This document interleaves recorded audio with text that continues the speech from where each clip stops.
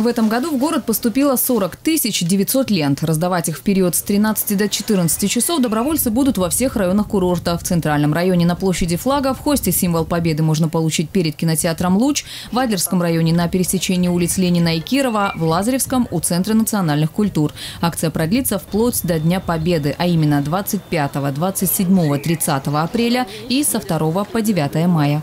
10 дней, когда мы раздаем именно на этих площадях. Далее раздача лент тоже будет проводиться на а, значимых мероприятиях майских. И везде нас можно будет встретить и везде получить заветный символ победы. В том году нам пришлось докупать ленты, потому что не хватало. И мы будем уверены абсолютно, что и этих 40 тысяч лент нам не хватит, потому что а, горожане и гости нашего города очень охотно всегда принимают участие в этой патриотической акции. В рамках кампании не просто раздают георгиевские ленты. Также организован сбор целевых пожертвований. Собранные средства направят на нужды Краевого клинического госпиталя ветеранов войн.